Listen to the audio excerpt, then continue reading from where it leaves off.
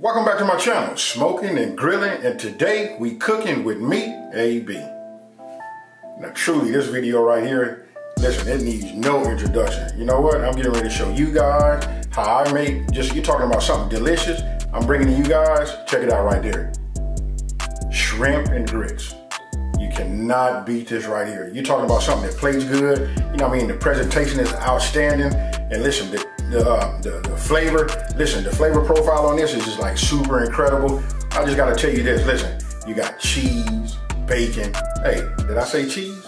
Mmm, you talking about something that Hey, I don't even want to spoil it because listen, there's a whole bunch of la layers of this uh, this recipe right here, all the way down to the onions, you know, the green onions, everything plays a part in this right here. So listen, if you want to put something out that'll just wow everybody, hey, you know what, better yet, I'm always talking about wowing somebody. Hey, if you want something that's gonna just like be explosive to yourself, you know what I mean? You After you taste this, you're gonna just run out, hey, somebody please taste this. Check this out, I made it. Hey, with that being said, I don't want to over talk it. Let's get right into this video.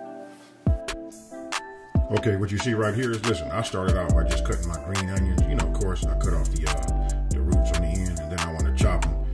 I only use this as an example so you guys can see, you know, just about the size. And also, I put the white part of the green onion inside there also. And then the next thing you know what I used? I used uh, fresh parsley. If you ask me, my opinion is, you know, I'm sure everybody agrees with this. You know, fresh is just always better. So just fresh parsley. I made a lot of it because I like to use it for garnish. And listen, it brings an amazing taste here you can just see me, you know what, I use this as an example also just to show you, you know, how far I went as far as uh, cooking my bacon.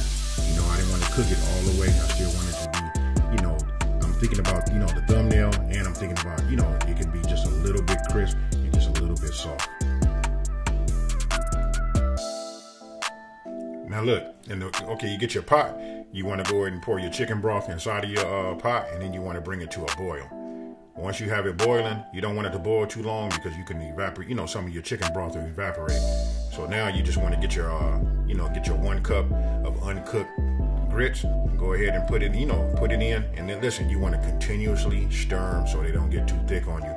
You know what I mean? So then go ahead, after you finish stirring them, go ahead and put the top on there. And then you want to let them simmer. I adjusted my heat. Now it's up to you, you know, as far as the texture and how thick you would like for it to be. You can always add some more chicken broth to it. Here you can see that I'm adding some uh, uh, butter. Those were uh, three tablespoons of uh, butter. You know, salt and pepper.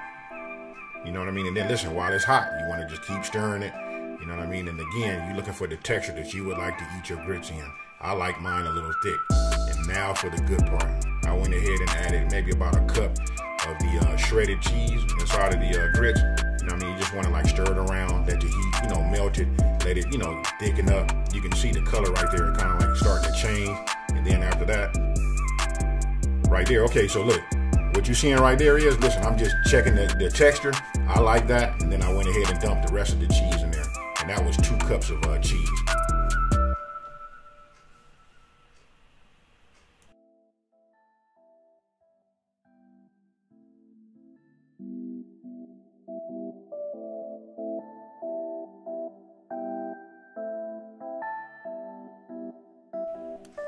Once you got everything, you know, mixed, your butter, salt and pepper, cheese, and your grits, and everything is just right, go ahead and cover them, set those to the side.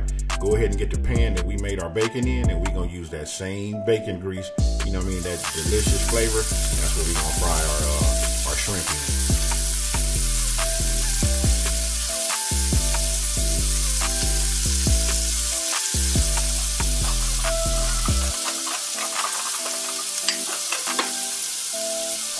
Now remember, it doesn't take long for your shrimp to come out right. We want to use a medium-high heat, you know. So right here, I'm sprinkling, you know, Tony's on there, that Creole seasoning.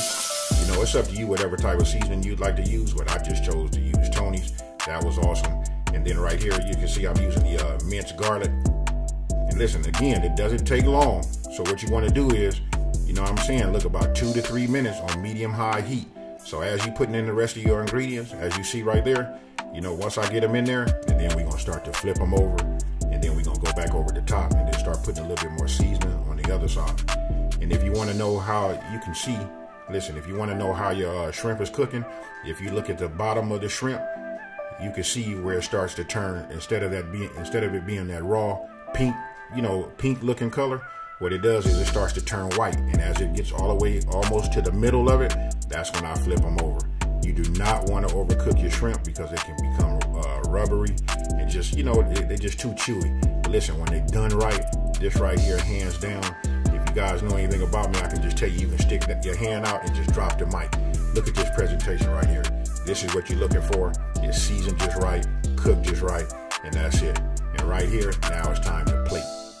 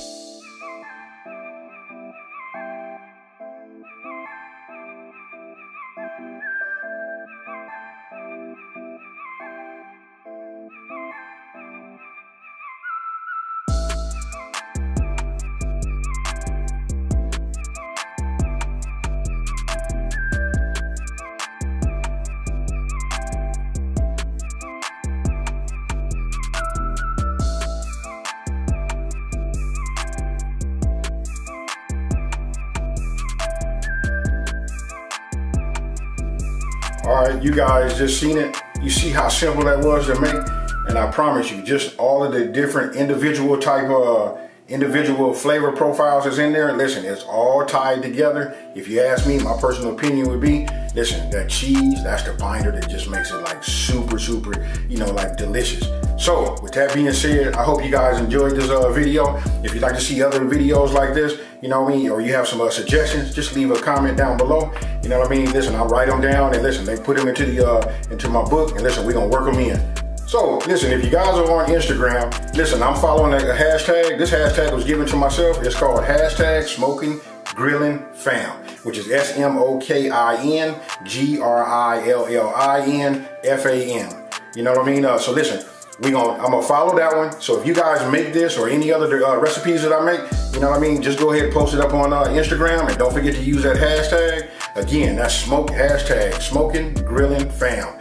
And then you know what? I get a chance to take a look at what you made. You know what I mean? Hey, get a chance to look at the, uh, the different uh, presentations and things of that nature. Hey, so with that being said, you guys, you know what?